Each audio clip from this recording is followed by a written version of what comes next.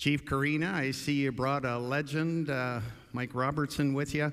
Please give a warm round of applause for Chief Corrina Leween, Cheslatta Carrier Nation. Thank you. Good morning, everyone. I'd like to start, uh, first of all, by acknowledging that we're on the T'enneh traditional lands, and thank you, uh, Chief Dolly Abraham, for allowing us here. I'd also like to acknowledge the fellow leaders that are in the room and all of their community representatives. Natural resources is a piece that we can all work together to accomplish an environmentally sustainable project with the economic benefits that come with it, but we'll always pay attention to the land. The Tetachuck Archaeological Excavation Project is a good news story today, but there's a long history behind it. It's tales of grief, death, loss, and flood. But it is today towards the end, and that's where we are and want it to be. It's about the collaboration, trust, and the relationship built with industry on a project that will benefit all of humanity. I'm proud today to be here with my respected elder, a mentor to me, Mr. John Caswell.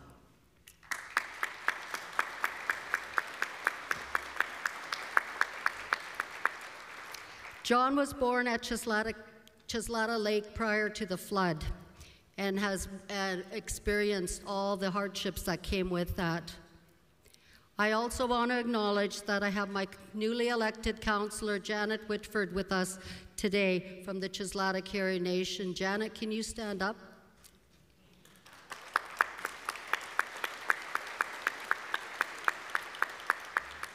As we only have a short, uh, as we only have a short period of time here today, I'd like to turn the mic over to our team that has come with us and the partners to explain the project that we're talking about. And I will also be available up on stage until the end of the presentation if anybody has any questions. Masicho and Awatsa.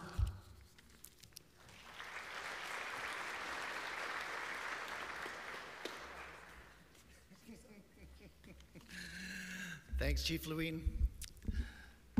Um, and thanks very much, everyone, for attending today. Um, I'd also like to acknowledge that we're on the traditional territory of the Lheidli T'enneh and thank them for allowing us to be here today. I've been coming to the Natural Resource Forum since 2006, and I think when we first started, we were meeting in little rooms upstairs, so it's come a long way. My name is Kevin Dobbin, and I support Rio Tinto in developing partnerships in BC. I've been with the company for 16 years now. This is my 16th year. Today, you're going to learn about a partnership that probably would not have happened 70, 50, even 20 years ago. While Rio Tinto has a goal to develop Indigenous relationships, it's not always easy. In fact, it can be difficult. But we have learned that getting to know people with time, building those relationships, and forming trust it will lead to a true, mutual, and beneficial relationship. And just so you know, it goes both ways. It's obviously very difficult for Indigenous communities to trust industry, and we understand that. So it does take time, it does take effort, and it does take that commitment to become good neighbors, good partners, and good friends. That's why we have community people working to support the business to build better relationships and work, with communities where we operate.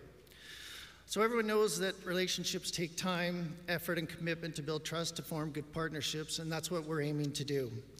You're going to hear about an incredible project today, and I'm really proud and excited to be here. I get goosebumps when we talk about it. It's very exciting. Most of you will know the relationship with the Cheslatta and Rio Tinto Carrier Nation have, uh, sorry, the Cheslatta Carrier Nation and Rio Tinto has not always been easy, and it's not where it was or is today. But I can say that evolution of the relationship was the result of the Cheslatta and Rio Tinto's commitment to build a relationship. This, of course, was led by Chief Charlie, who in 1999 said, Enough is enough, and we need to start working together. And Chief Leween has carried that vision and continues to carry it today, and we're very glad to have her as a leader that we're working with. With that commitment came consistency. It was the people, and it was doing what you say you're going to do and to form that trust, which, as I said, is a critical component. I remember first coming to my uh, meeting with the Cheslatta in 2007, and Mike Robertson and Chief Leween say, You only come when you want something. you always have the same agenda. And we definitely had to change our approach. We had to come, be friends, and not always talk business. We had to listen, we had to understand to build that relationship. We ended up signing the Cheslatta New Day Agreement, which took us a bit of time to get there, but we got there. Uh, February 27, 2020, something we're very proud of. And it's led to many opportunities that have allowed Cheslatta to grow and build capacity. So while partnerships and relationships aren't easy, we start and we started at polar ends. It's about working together and how we come to the conclusion of forming that relationship. And the result, obviously, is the Tetachuck project as well. The Tetachuck project is important for Cheslatta, it's important for us, and it's important for humanity. It's a really exciting project and something that we're very glad to be a part of. Colleagues of mine have been to the site and they've seen amazing finds and work being done. They say it's, it, they feel like history is there. We're very humbled to know that First Nations people in the region lived there 4,000, 6,000, even 10,000 years ago. So we're very excited to be that initial partner to start up the project and secure it. And now I'm more than happy and proud to introduce Dana Evaschuk, who will introduce the Cheslatta team and share the story of the exciting project. I will mention before we leave why I'm carrying this paddle. this was a paddle, and it was really a symbol of the agreement that we signed with the Cheslatta. It was the idea of the Cheslatta to have a good symbol, and the paddle has many meetings in Cheslatta. Um, everybody got a paddle, and we're paddling together. So that's why we are carrying the paddle, and it's an important symbol for us. Thank you very much.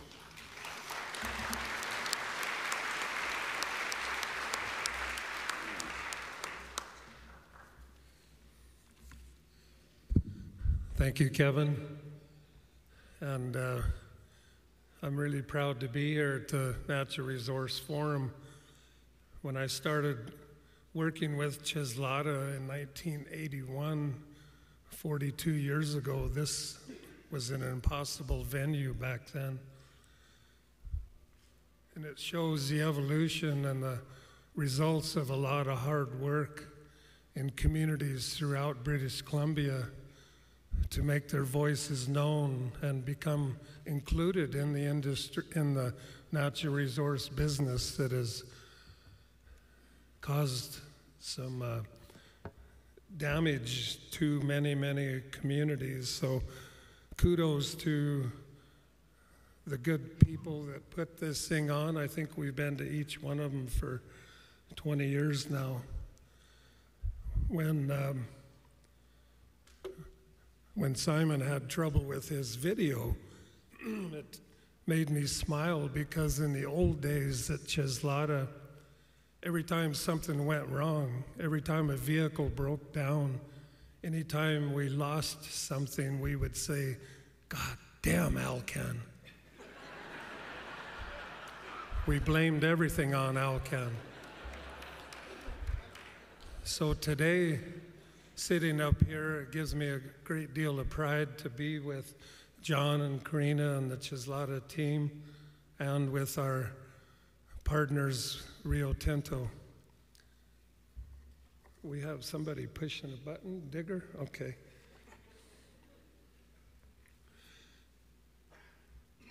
This uh, is the westerly headwaters of the Nechako River. The Nechako, at one time, was the largest tributary to the third biggest river in Canada, the Fraser. It was a series of seven large lake and river systems that joins the Fraser just across the bluffs here at Prince George, 192 miles away. The traditional territory of the Cheslatta has always encompassed this system, which now today is called the Nechako Reservoir. The Cheslatta had permanent villages throughout this territory, with the largest being at Tetachuck Lake. In 1838, smallpox came and decimated the Tetachuck villages, killing approximately 95% of the population at the time. Hundreds of people died. The survivors abandoned their area and moved to their other villages at Ootsa and Cheslatta Lake. The original name of Tetachuck was for fat fish. I don't dare pronounce it. After they left, the survivors named it Tetachuck, which means sick water. Moving, oh, and the, the first non native European settlers came to this country in 1905. So, from that settler standpoint, it's a pretty fresh area. And the uh, BC government wanted to establish an aluminum industry in British Columbia. So they issued Alcan a water license in December 1950 for all of the water above the Grand Canyon of the Nechako River. A dam im- immediately was commenced, and by October 1952, a little less than a year and a half later, the water was backed up and the flooding commenced. And the water that used to run east now ran west through a tunnel excavated in the coast mountains. The archaeology community became alarmed of the resources to be consumed by this massive reservoir. The reservoir itself flooded 140,000 acres, a surface of 570 square kilometers. This reservoir is 250 miles long. This slide is, a, is an overlay of the reservoir on the lower mainland that extends, as you see, from Vancouver Island almost to Hope. It's a very, very large system. The archaeology community became very concerned that so many resources would be lost, and they commissioned a, a uh, expedition led by Dr. Charles Borden of UBC to come out here and quickly assess and document the human use and occupation of the land. As you see from this slide, the pre flood landscape was dotted with areas of significant use and occupation of villages and campsites. These were all inundated within a couple weeks of the dam closure. When the archaeology team came upon these sites, they were astounded at the, what they called the unspeakable archaeological richness. And the UBC and Dr. Borden convinced Alcan at the time to contribute $5,000, which comprised 40% of this budget of the largest Archie expedition ever attempted in BC at the time. Dr. Borden described this area as a wishful dream come true for an archaeologist. However, it was, um, it was a, a fated expedition, and approximately 95% of all the archaeological resources were inundated by this project.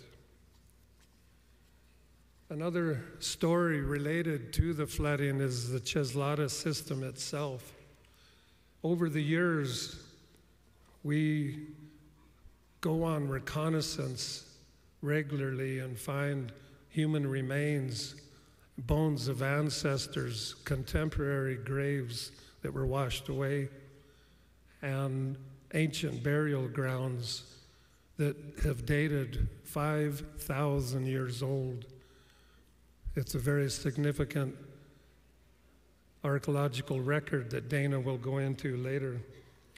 Every time we find these human remains, Alcan is very, Rio Tinto is very responsive in helping in the recovery and the erosion control. The site at Tetachuck was actually exposed by the devastating wildfires in 2018 because we looked at for that site and those sites for decades. So when we found them in 2018, we commissioned uh, some field work and an archaeological reconnaissance, and they confirmed this.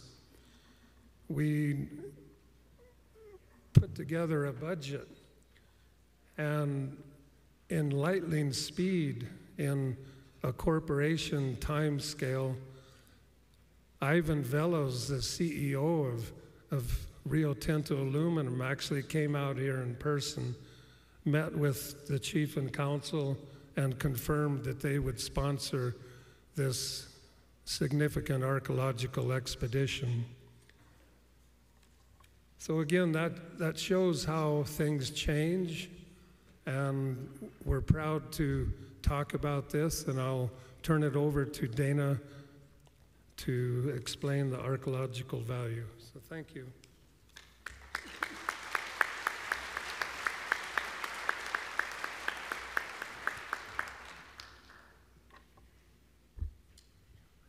Thanks, Mike. In 2018, a large forest fire destroyed the area around Tetachuck Lake, and as a result, the trees and vegetation were destroyed along most of the shoreline of the lake. While extremely devastating, it did expose a large number of significant archaeological sites and has shown to prove that the Cheslatta Carrier Nation people occupied this area extensively since time immemorial. Some archaeological sites are potentially as old as 10 to 12,000 years. A typical standard uh, archaeological investigation generally does not have funding available for intense research analysis. Therefore, while we as archaeologists know of many very important sites in BC, we do not know much about them. Rio Tinto has generously allowed us to utilize the best scientific methods available in order to analyze the remains and artifacts discovered and uncover detailed information that would not normally be attainable. Working together towards a common goal with mutual respect for each other has allowed this project to proceed quickly and without undue delays. The oldest and largest intentional burial grounds of ancient human remains in the interior of BC have been discovered in Cheslatta Carrier Nation territory. These remains have been radiocarbon dated to 5,000 years old. This is the oldest known intentional burial ground in BC that we know of.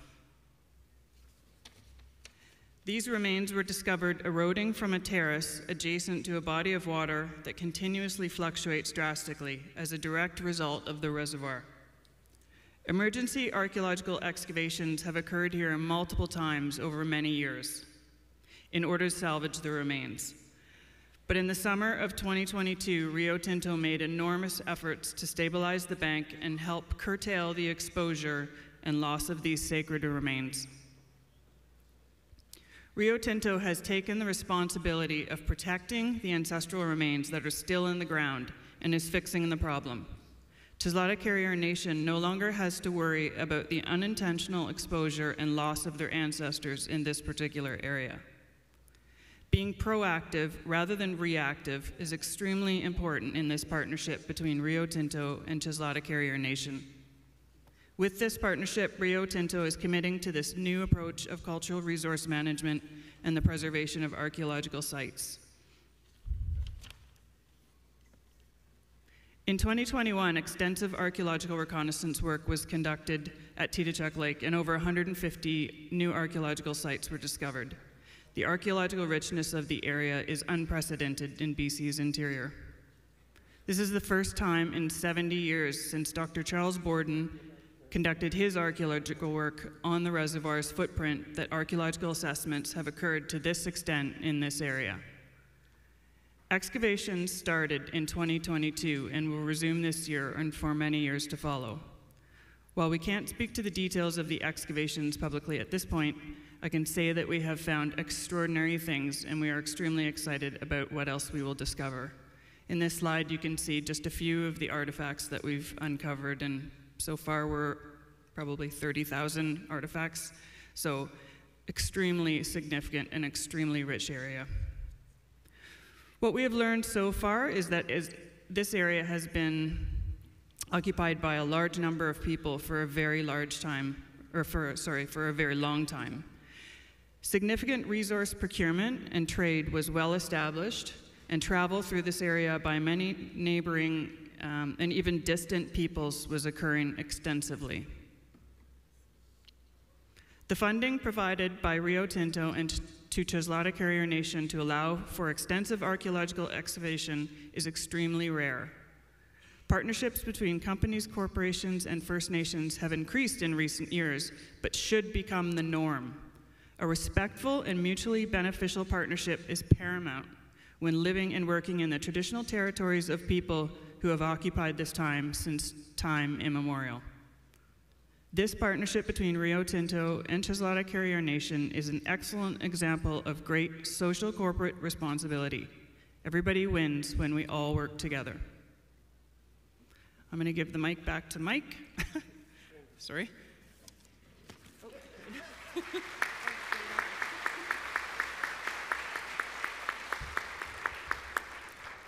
Thank you um, to everybody on the panel today. Um, in closing, I just want to reiterate um, about the unique relationship that we have with industry and First Nations and how we can work together in keeping the communication gaps open. So it's all really important for us today to communicate that in 2023, this is a new day of doing business. For decades and decades, industry has had little obligation in protecting heritage resources on the landscape. And until recently, governments have not mandated that heritage pr protection be a priority in the consideration of resource development. Industry must acknowledge the footprint of their operations and some of the devastating permanent impacts they may, that many may have on the land and the water. Mitigation and compensation does not bring these things back. We hope this project encourages other similar par partnerships and becomes entrenched practice in resource development and the operations on the land. I'd like to thank everyone for listening to this presentation. It's near and dear to our heart. I tried getting Elder John to come up and say a word, few words, um, but he chose not to. So I just really appreciate again that he came with us today because he is the strength. He's the man that walked out of Cheslatta Carrier Nation when we were evicted in 1952 with his family. And he's, he's been a, a real strength to us at the Cheslatta since. Um, so thank you everyone for taking the time to listen to this uh, really heartfelt presentation on the protection of the artifacts and the proof of our existence as First Nations people long before any of us were in this room. So masicho, what's up.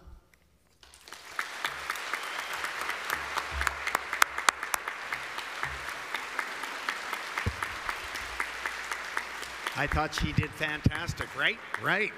Uh, thank you, Chief and panel. Um, we're going to ask you to do a group photo. Uh, I would ask security to get the paddle out of Kevin's hands so he doesn't hurt anybody while we're having the photo. And then I've got some thank you gifts, and then we're going to ask you to go that way. Chief, are you good? Are you photogenic? Okay, good. Good. Let's have a group photo. Chief and her friends. And for first time BC Natural Resource Forum people, you see how we roll around here? Chief just gives us orders and we get it done. That's right. Okay, photo time.